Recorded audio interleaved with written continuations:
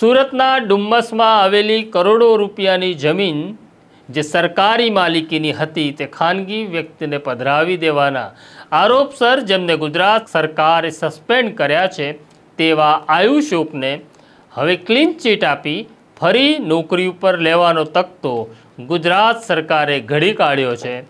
તેની વાત કરવી છે. વૈષ્ણવજન તો તેને કહીએ જે પીડ પરાઈ જાનાને રે. નમસ્કાર, નવજીવન ન્યૂઝમાં તમારું સ્વાગત છે અને હું છું તમારો પ્રશાંત દયાળ. વાત કરવી છે આઈએએસ અધિકારી આયુષ ઓકની. આયુષ ઓક, સુરતના કલેક્ટર હતા ત્યારે તેમણે. ડુમ્મસમાં આવેલી કરોડો રૂપિયાની જમીન જેની માલિકી સરકારી હતી. આ સરકારી જમીન તેમણે ખાનગી વ્યક્તિને પધરાવી દીધી. તેવો આરોપ થયો.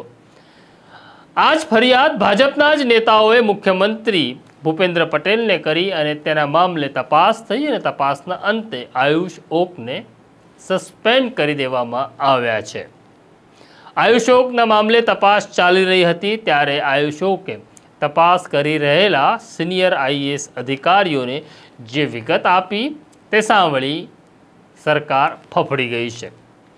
ઘટના એવી છે કે આયુષોક સુરતમાં હતા ત્યારે તેમના પોલિટિકલ ગોડફાધર કોણ હતા?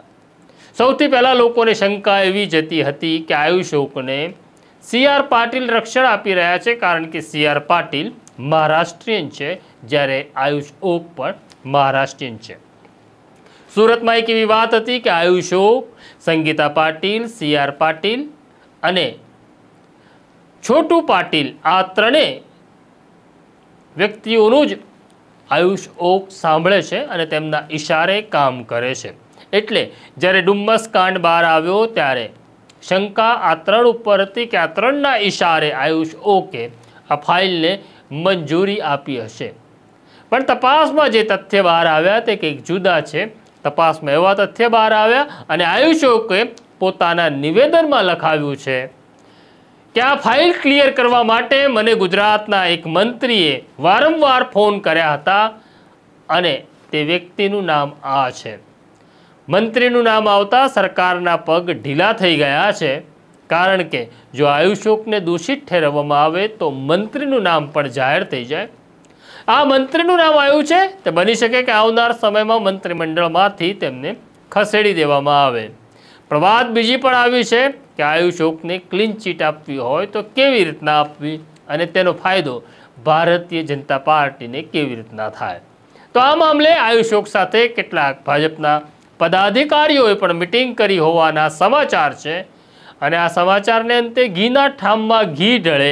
આયુષોક નોકરી પર પાછા ફરે ભાજપને ફાયદો થાય અને જે મંત્રીનું નામ જાહેર થવાનું હતું જેના કારણે ભાજપ સરકાર મુશ્કેલીમાં મુકાવવાની હતી, તે બચી જાય. ભૂપેન્દ્ર પટેલ ભલે દાવો કરતા હોય કે ભ્રષ્ટાચારીઓને છાવરવામાં નહીં આવે, પણ આ મામલે આયુષોકને બચાવવા એટલા જ અનિવાર્ય છે, કારણ કે સરકાર પર તેની અસર માઠી પડે અને છાટા અનેક લોકોના કપડાં ઉપર ઉડે અને કમળ ચિતરાઈ જાય નહીં તેના માટે આ સમાધાન નક્કી થયું છે. આવનાર ટૂંક જ સમયમાં આયુષ્યોક દોષિત નથી તે પ્રકારનો અહેવાલ સરકારને સુપ્રત કરી આયુષ્યોકને ફરી ફરજ ઉપર લઈ લેવામાં આવશે એવી જાણકારી છે. પણ જે મંત્રીએ આદેશો આપ્યા હતા, સૂચના આપી હતી, તેનું શું થશે? તે તો મંત્રીમંડળના વિસ્તરણ વખતે જ ખબર પડશે. તો આ સ્ટોરી તમને કેવી લાગી? અમને જરૂરથી કોમેન્ટ બોક્સમાં લખજો. અમારો બેલ આઇકોન દબાવજો, અમારી સાથે રહેજો. અત્યારે મને અને મારા સાથી જયંત દાફડાને રજા આપો. નવા વિષય સાથે હું પાછો આવું છું. નમસ્કાર. વૈષ્ણવજન તો તેને કહીએ